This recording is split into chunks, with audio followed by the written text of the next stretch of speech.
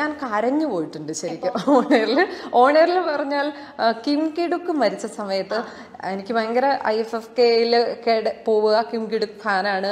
എനിക്ക് അത്തരം ഫിലിംസ് ഭയങ്കര ഇഷ്ടമാണ് അപ്പം അങ്ങനെ ആ ഒരു ടൈമിൽ ആ കിം കിടുക്ക് പെട്ടെന്ന് മരിച്ചു എന്നായിട്ട് ഇങ്ങനെ വിഷമിച്ച് നിൽക്കുമ്പോൾ കുറേ പേര് ഗ്രൂപ്പായി വെബിന് വേണ്ടിയായിരുന്നു ഏഷ്യാനെറ്റ് ന്യൂസിന്റെ വെബിന് വേണ്ടി അവരൊരു ഒരു ലൈവ് പോലെ സെറ്റ് ചെയ്ത് താഴെ കൊണ്ടുപോയി ആ ലക്ഷ്മി വാ എന്ന് പറഞ്ഞ് ലക്ഷ്മി പ്രിൻസ് എന്ന് പറഞ്ഞ് ഞങ്ങളെല്ലാവരെയും വിളിച്ചു.